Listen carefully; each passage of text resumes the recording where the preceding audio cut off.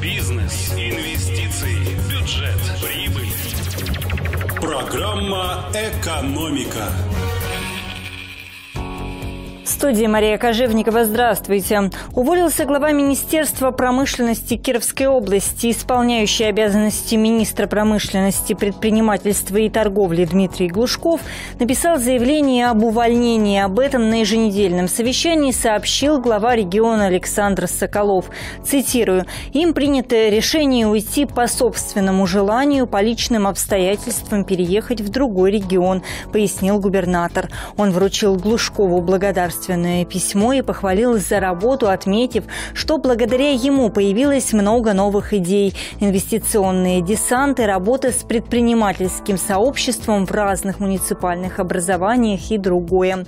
Исполняющий обязанности министра, в свою очередь, пожелал команде губернатора как можно скорее реализовать все идеи, цитирую, «со всеми остаюсь на связи, всегда готов помочь», написал он. Кировская область в аутсайдерах по доступности бензина. РИА Новости представили исследование, в котором говорится, сколько бензина можно купить на среднюю зарплату в разных регионах страны. Кировская область в этом рейтинге на 68-м месте. На среднюю кировскую зарплату можно приобрести 771 литр топлива марки АИ-92. Стоимость бензина составила в среднем по области 48 рублей 19 копеек. С начала года она выросла на 4,5%. В соседнем Татарстане на чистую зарплату можно купить больше тысячи литров. А вот в Чувашии и Мариэл цифры сопоставимы с кировскими. Больше всего бензина могут позволить себе купить на свои среднемесячные зарплаты жители э, Ямало-Ненецкого автономного округа Москвы и Чукотки – более 2000 литров. Меньше всего топлива могут приобрести жители э, Ингушетии, Чечни и Кабардино-Балкарии. Болгарии.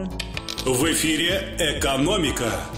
Более 30% кировчан хотят открыть свой бизнес. Об этом говорят результаты исследования специалистов сервиса «SuperJob». 34% жителей региона рассматривают возможность открытия своего бизнеса. 57% не готовы стать предпринимателями. Чем моложе кировчане, тем больше они хотят иметь свое дело. Среди респондентов моложе 24 лет готовы к открытию бизнеса 45%. А среди тех, Кому больше 45 лет, таких лишь 23%. Что касается уровня дохода, то лишь 24 опрошенных с зарплатой менее 30 тысяч готовы брать на себя ответственность за бизнес.